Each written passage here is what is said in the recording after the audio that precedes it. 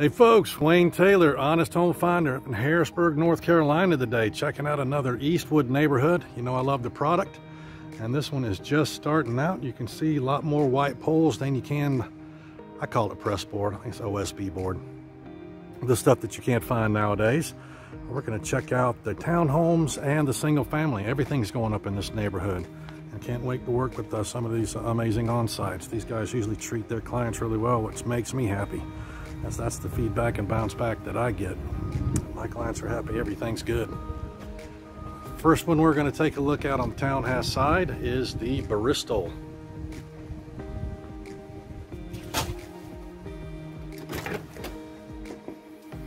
I should say, should have said it when I was outside. They haven't opened these up yet for viewing. Um, so they're not completely uh, made up yet. They don't have all the the foo-foo and the fa-fa on them right yet. We're gonna see them how you would purchase them, which I like. If you've seen any of my videos, you know I'm like everybody else. I wanna I wanna walk through the models that are all decked to the nines.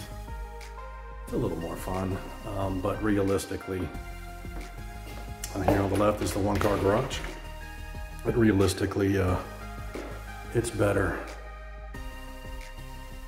to see things kind of bare bone what you're going to be paying for.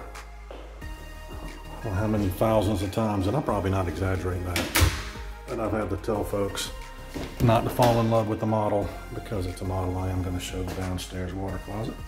Um, excuse me, uh, townhouse. See the commode, just to see the size of it. Some of these things will be different.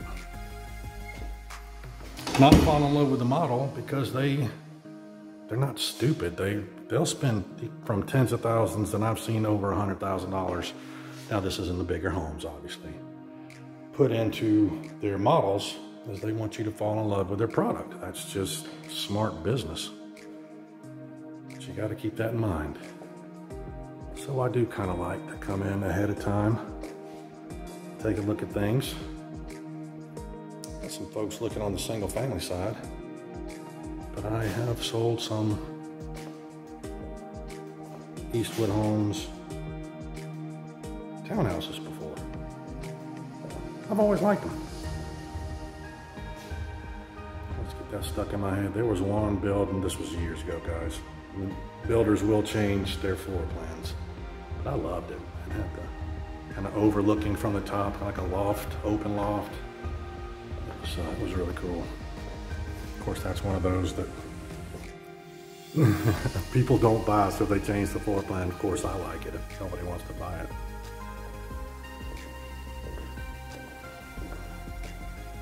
All right, let's head upstairs on this Bristol and see what we have. Made it up, made it up. Look at that banister. And speaking of up, guys, top of the screen, my buyer's incentive. Don't leave money on the table unless you have to. Check out these secondary bedrooms. It's a decent size. Definitely fit a kid in here. It's not huge. Quite frankly, I did not walk in here first and I'm pulling the spider webs off of me. Always fun. uh, they're just not a ton of room in townhomes. Most townhomes. I've seen some really big ones and I've seen some really small ones.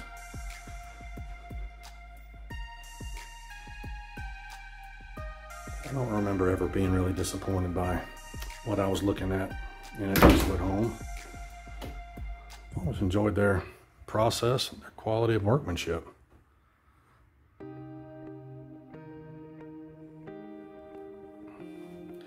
feel like I babble on about things like that.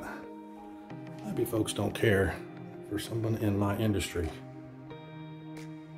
And you're having to deal with the process, how they treat clients how they uh, take care of problems when they come up. It almost happens all the time. Not everything's perfect. We're all human beings. But think how things are handled. Is it my way or the highway, or is it let's look into this? If we can help you out, we will. This bathroom is not normally that dark. That light just won't come on. You can see the blue punch tape.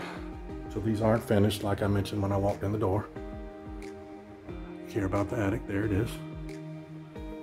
Get a kick out of this. They got these things in here fast, or at least one of them. washer and dryer. Can't find these things for hell of high water nowadays or, you know, a big waiting list. Nice big linen closet. Primary bedroom. Where the important people live, man. It's the ones paying the bills. Yourself a pat on the back if you pay all the bills in your household, or half of them, any of them. Unless you're not a little money pit kid, right? I like to teach my friends about that. Please don't take offense. I got a big soft spot in my heart for children. As long as I'm not taken care of.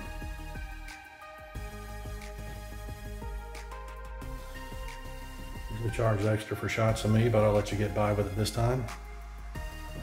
Commode on the right, that's about all you're gonna get there. I was impressed by this one in the Bristol. A lot of times, master bedroom closets or where they cut some corners as far as space goes. That thing was huge. A shot of this. I like that blue. So I put my emails on. Maybe that's why I like Eastwood so much. I think that's their main color.